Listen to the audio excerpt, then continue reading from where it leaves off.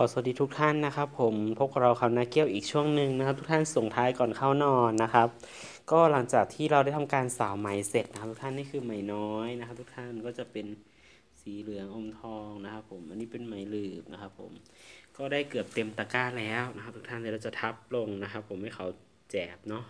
นะครับผมหรือว่าให้เส้นไหมนะคือแน่นนะครับ ทุกท่านจะได้ไม่ฟูแล้วก็ฟ้องมาพันกันเวลาที่เรา เล่นออกเป็นปลอยนะครับ หรือว่ากวักออกใส่อักนะครับทุกท่าน โดยเราก็จะนำผ้านะครับ ทุกท่านวางทับนะครับ ผมตะกร้าไหม่เลยนะครับ ผมทับลงไปให้เขาแน่น ๆ นะครับ ผมเดี๋ยวเราจะให้ยายช่วยเล่นออกให้นะครับ ผมแล้วหลังจากนั้นพอเล่งเสร็จเราก็จะทำการด่องหรือว่าลอกกาวไหมนะทุกท่านนะครับ ผมเพื่อที่จะนำเขาไปย้อมอีกทีหนึ่งนะครับผมทุกท่านต้องหาที่ทับก่อนนะครับผม ที่ทับของเราก็คือนะครับผมเราใช้ตีนกงนะครับทุกท่าน เป็นไม้ที่มีน้ำหนักนะครับ ผมทับลงไปเลยวางทับลงไปนะครับนะครับผมทับลงไปให้แน่น ๆนะครับครับวันนี้สาวใหม่ข้ามปีเลยนะครับทุกท่านนะครับผมสวัสดีปีใหม่นะครับ ผมนี่ครับทุกท่านให้มีน้ำหนัก ส่วนตัวนี้เป็นไหมเหลือบเราก็จะต้องทับเหมือนกันนะครับผมเราเราใช้ตะกร้าสองขนาดเนาะเราก็เลยวางซ้อนทับกันได้นะครับ นี่ครับผมเราก็ทับทับเขาไว้นะครับผม แล้วก็ยกตะกร้านะครับผม ยกตะกร้าใบใหญ่ทับลงไปนะครับมาทุกท่านนะครับวางทับไปนะครับผม การทับนี้นะครับผมก็จะช่วยให้เส้นไหมที่เราสาวนะครับ ทุกท่านได้แน่นนะครับทุกท่านแนบสนิทลงไปนะครับ ผมก็จะช่วยให้ลดในเรื่องของการที่เขาฟูเส้นไหมฟูขึ้นมาเวลาที่เรากวักเนี่ยลดกันในเรื่องของการติดพันนะครับ ผมของเส้นไหมเวลาที่เรากวักใส่อัก หรือว่าเลนออกนะครับทุกท่านนะครับผมเราก็จะทับไว้แบบนี้นะครับทุกท่าน ถามว่าทับนานไหมนะครับ ทุกท่านก็ประมาณ 1-2 วันนะครับ ทุกท่านก็จะสามารถที่จะนำไปกวักนะครับ ผมรือว่าไปเล่นได้นะครับผมแต่ว่าบางท่านเนี่ยอาจจะไม่ได้ทับ แต่ว่าเวลามันฟูเนาะมันก็จะเสียในเรื่องของการติดพันกันของไหมเวลาที่กวักออกนะครับผม นะครับแล้วก็เวลาที่เราสาวเสร็จทุกวันนะครับผมเขาสาวเสร็จทุกวันเราก็จะทับแบบนี้ไว้นะครับผมหนึ่งคืน พอรุ่งเช้ามาเราก็เอาออก แล้วก็ไปสาวมาเพิ่มนะทุกท่าน ตอนนี้ไหมน้อยเราในตะกร้าใบนี้น่าจะได้เกือบ 2 กิโลนะครับทุกท่านนะครับผมคือหนักนะครับผมพอสมควรสำหรับไหมที่อยู่ด้านในตะกร้านะครับผมเราทับทุกวันนะครับ ผมเขาก็เลยยุบลงนะครับทุกท่านเหลือครึ่งหนึ่งนะครับ ผมที่จริงนี่เยอะมากนะครับ เวลากวาดออกก็น่าจะ ใช้ระยะเวลาเกือบเป็นวันนะครับ ทุกท่านกว่าจะเสร็จนะครับผมเพราะว่ากวักออกเราจะต้องมีการแกะขี้ใหม่ออกด้วยนะครับ ทุกท่านนะครับผมสำหรับค่ำคืนนี้นะครับ ทุกท่านก็หลับฝันดีราตรีสวัสดิ์นะครับผมสำหรับลูกๆของเรานะครับ ทุกท่านเราก็ได้ย้ายเข้ามาอยู่ตรงถงกลาง เพราะว่าบริเวณนี้อุณหภูมิจะอุ่นนะครับผมอบอุ่นมากกว่า เพราะว่าจะไม่ได้เย็นมากเหมือนกับห้องปีกตะวันตกหรือปีกตะวันออก เพราะว่าไอ้บริเวณห้องปีกตะวันตก ปีกตะวันออกเนี่ยเขาจะอยู่ในพื้นที่ที่สูงกว่านะครับ บริเวณนี้ก็คือจะต่ำเตี้ยกว่า ลมก็จะไม่ค่อยพัดมาเท่าไหร่นะทุกท่านนะครับ ผมเขาก็จะอบอุ่นแต่เราให้อาหารเสร็จเรียบร้อยแล้วนะครับ ผม แล้วก็ตอนนี้เรากำลังทำการขอดหม้อนะครับ ผมสาวไหมขอดหม้อก็ใกล้จะเสร็จแล้วนะครับ ทุกท่านเดี๋ยวอีกสักครู่นะครับ ผมเราก็จะ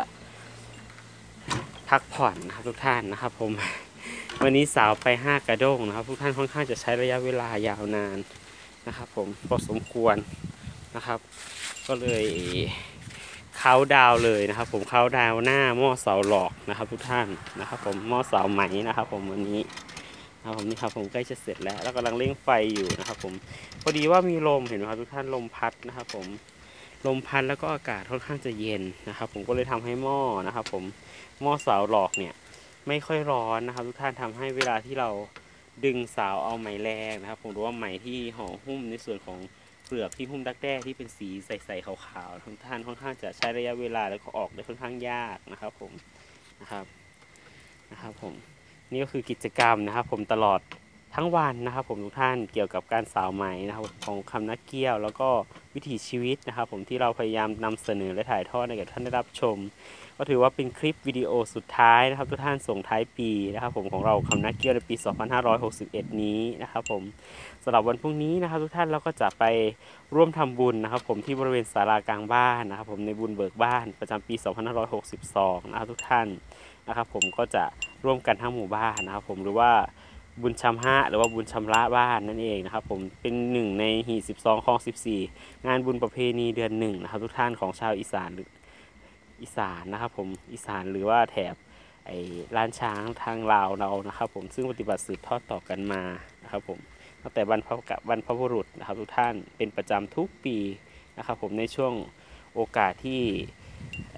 ครอบครัวนะครับญาติพี่น้องนะครับ ผมได้มาเยี่ยมพบปะสังสรรค์กันในช่วงปีใหม่นะครับผมก็จะมีงานทำบุญตรงนี้นะครับ ผมมีการสวดมนต์นะครับ ผมช่วงเย็นวันที่นำเสนอในช่วงเมื่อวานนะครับให้ทุกท่านได้รับชม แล้วก็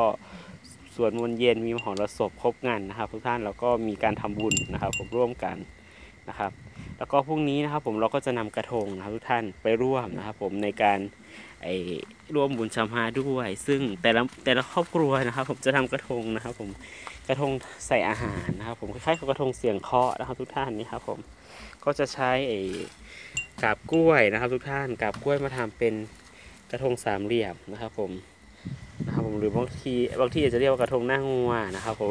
หน้าวัวนะครับ ผมกระทงสามเหลี่ยมนั่นเอง ก็จะใส่อาหารของหวานของข้าวเข้าไปนะครับ ท่านดอกไม้ทูบเทียนนะครับ ผมแล้วก็นำไปรวมกันที่ศาลา